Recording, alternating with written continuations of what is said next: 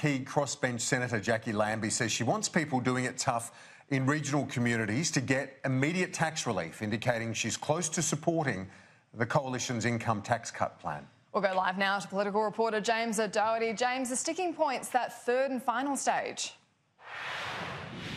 Jacqui Lambie's position does seem to be uh, similar to Labor's position, Annelise and Kieran, insofar as that she wants stages one and two of the tax cut plan to pass immediately, but she has reservations about the third and final stage of the tax plan that would see the 32.5 cent tax rate abolished and everyone earning between $45,000 and $200,000 earn uh, pay the same amount of income tax. She recognises, though, she says that people in rural and regional communities are doing it tough and they need immediate support.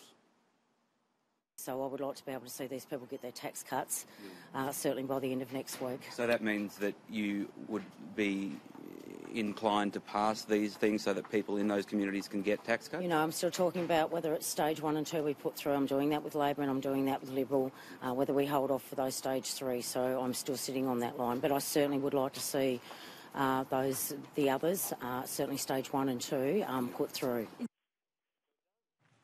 So it does seem that Jacqui Lambie is close to getting on board with the government's tax cut plan. When it goes to the Senate on Thursday, it will go to a vote and be finalised before the end of the week. Mathias Cormann putting the pressure on Labor, saying that the economic stimulus from this tax package would be immediate when it passes.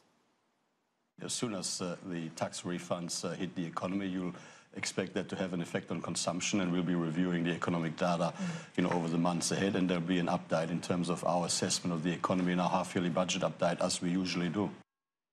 That we need to get more money into the hands of more workers sooner and circulating through this floundering economy.